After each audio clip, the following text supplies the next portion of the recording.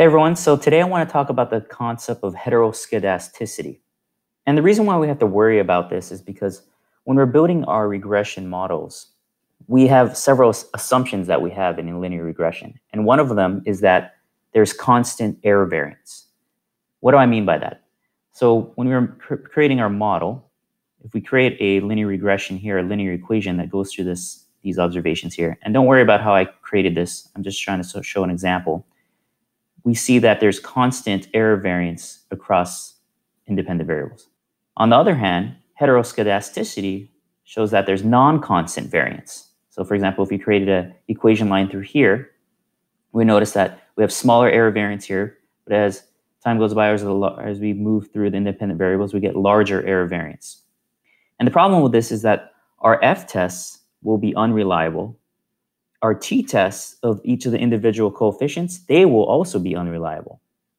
And that's because the standard errors will be biased. And so, for example, these standard errors here, if we go to our results, these standard errors will be underestimated. And therefore, the t statistics will be inflated if there's heteroskedasticity. If we do have heteroskedasticity, we may find significant relationships where none exist. We don't want that. So we need to test for that and then correct it. So what we're going to do in this video is test for heteroskedasticity and of our model that we built earlier on, on arc returns over the Russell growth and Russell value indexes. And then we're going to try to correct for it if there is an issue. So now we have um, that understanding. A great way to test for this is something called the Breusch-Pagan test. And essentially what the Breusch-Pagan test is doing is that it takes the residuals, the squared residuals of our model and it regresses it on the independent variables. What do I mean by that? Well, essentially what we're doing is we're taking the residuals, that is the residuals were, that was the error from our original model, we're squaring it and then we create a new regression model on top of the in independent variables. And if no conditional heteroskedasticity exists, the R squared will be very low. If conditional heteroskedasticity skedasticity does exist, the high, there will be a high R squared. And so our null hypothesis is that there's no conditional heteroskedasticity, and we do not want to reject that null. So I'll explain more in a second. So let's actually take a look at our x variables. So remember, we have these x variables, but we also have these residuals. So we can look at our results dot resid so these are the residuals. So this is the difference between what our equation predicted and the actual value. That's the residuals. And so what we're going to do is we're going to take these residuals, square it, and regress it on our independent variables here, RLG and RLB. And if there is a relationship there, if they're correlated, that is called conditional heteroskedasticity. So let's just take that. Let's just take our residuals, and we're going to call this residuals, just to make it easy. And then we're going to square this. So square this like so. So we have our residuals. And now what we would like to do is we're going to create a new model. We're going to say SM for stats model dot OLS. We're going to take our residuals. And then we're going to regress it on our independent variables, x. And we're going to just say this is equal to model 2 run that. And then we, again, we need to fit our model dot fit.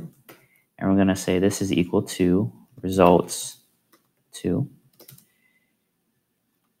And we're just going to say results 2 dot summary.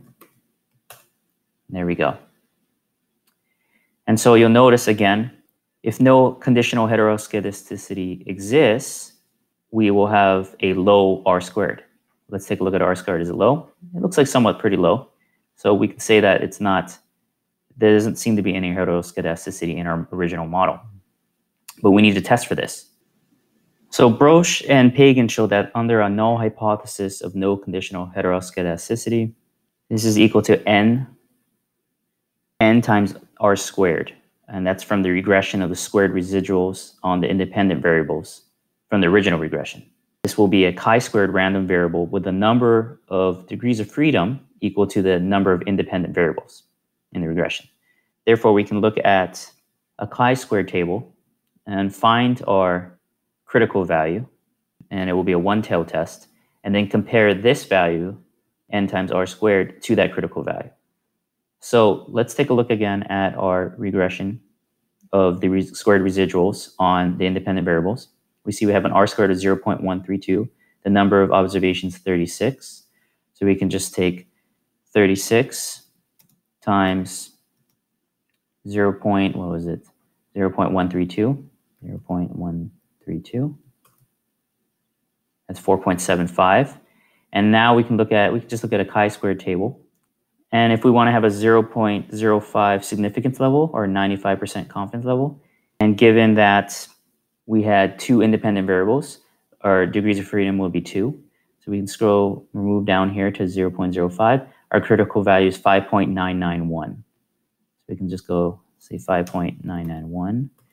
So is our test statistic from this regression n times r squared, 36 times 0.132, is that larger or smaller than our critical value? It's smaller. So we cannot reject the null that there is no conditional heteroscedasticity. So this is good. And so, of course, there's always an easier way to do this in Python.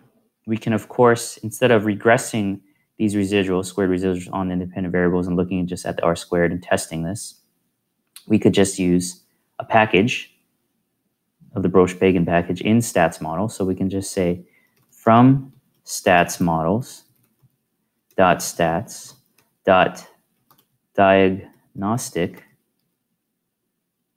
import het Breusch Pagan run that. And then from here we can just say bp test Breusch Pagan test equals and I'm just going to copy this so I don't misspell it Breusch Pagan and we can just take our results and we can put in our residuals again, remember, and we can also just take the results dot model dot exogenous. And remember, these are the results from our original model, not results two. So this is from our original model. Dot exogenous, and those are just our independent x variables and we can just output this BP test on that. There we go. We can just move all the way down to the right here. This is the p-value, and since it's less than or greater than 0.05, we cannot reject the null of no conditional heteroscedasticity. So that's good. It confirms our what we found earlier. So we can have more confidence in our original model here that our t statistics are not biased and our coefficients are not biased and consistent. So if you like this video, please subscribe. Till next time.